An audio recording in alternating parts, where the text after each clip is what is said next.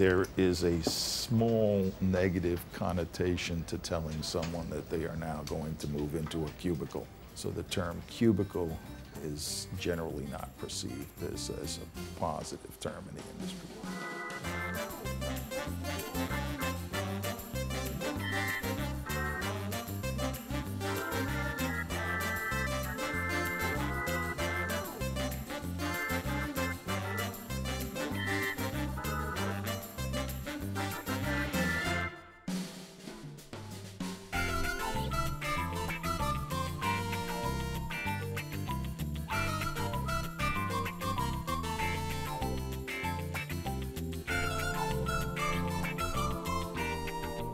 We refer to them as open office systems. They started as a concept called open office landscape. And they were trying a brand new concept in terms of space planning and offices that would allow for uh, the removal of walls, a great deal of flexibility.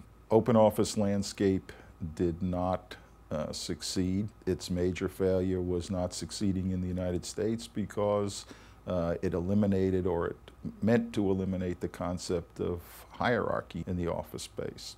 Open spaces in the newspaper industry used to be the norm. Um, and then slowly we gravitated to be like every other kind of place and put in cubicles and those sorts of things. Um, I think that it's common, but it really um, gets in the way of, of putting out good newspapers and good news organizations. And it used to be, when I was you know, in that kind of environment, the editor would just yell over to you, hey Bob, I got a question. You know, what were you thinking about when you said this? And I would yell back my answer. Now, because of the cubicle, you know, we get up and, you know, and then, and we have quiet conversations and there are fewer people involved in it. And instead of it becoming this discussion where things are getting better and, you, you know, you're debating it, it becomes just a little quiet, you know, water cooler type conversation. Systems can encourage or discourage communication, but their role is to economize on square footage. When you are dealing with productivity in an office, there are many, many factors that are involved. There are psychological factors and there are functional factors. Uh, the systems manufacturers would would tell you when selling their product that you're creating in a smaller amount of square footage a much more functional space. I have a tendency to like to see things. So one or two places I'm going to have my stuff. It's either going to be in my active zone or it's going to be in my anticipated zone.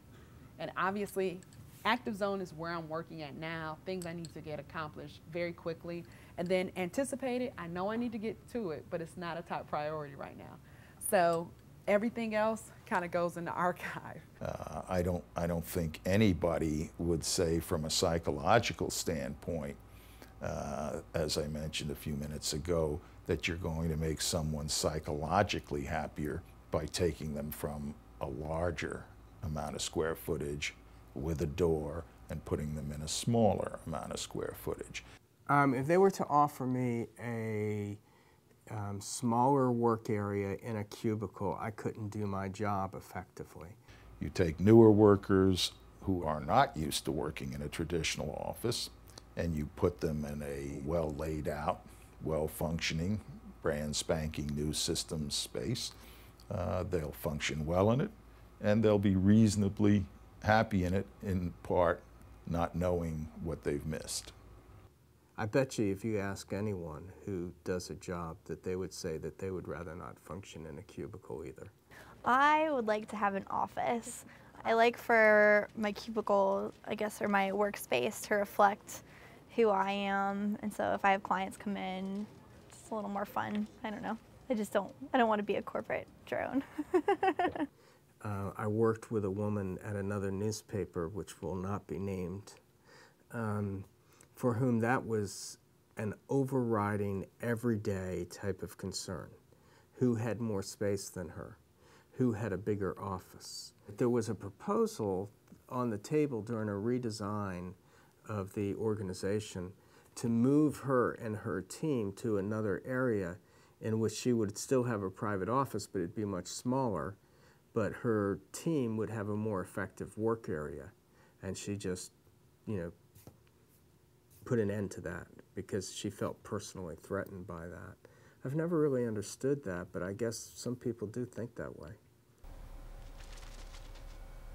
Another thing you'll notice is that we have the cafe area here, and that goes back to my whole um, thought behind the kitchen, cafe area. We know that people are working a lot differently now. Starbucks, Caribou, Coffee are now the third office. Having this cafe area here is really helpful for us. People can come congregate here over coffee, over sodas and things of that nature. But the nice thing is about it, it just makes it really comfortable for users and it's very intuitive. I will tell you that uh, there are times when we'll actually go out to our lobby where there are couches and tables and sort of a living room kind of setting and have conversations. Um, I keep a couch in here in this office with more comfortable chairs so that we can sit around and just have, you know, more comfortable conversations. I would be delighted to give up half of the space that I have if we could create a common area for everyone to be able to use. Um, it just, I think that what it does is allow people to get to know each other and exchange ideas in a more effective environment. In an industry that is changing as quickly as ours is changing, that what made sense um, in 1990, say, um, has no relevance to the jobs that we're doing in 2007. I think that we're seeing some change.